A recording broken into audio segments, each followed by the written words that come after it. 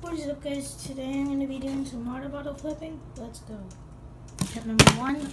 Oh, tip number two.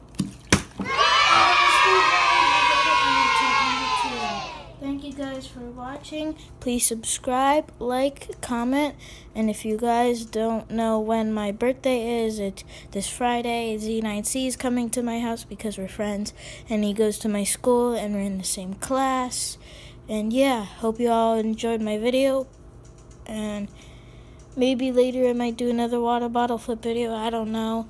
Um, yeah, please subscribe, like, and comment. Peace.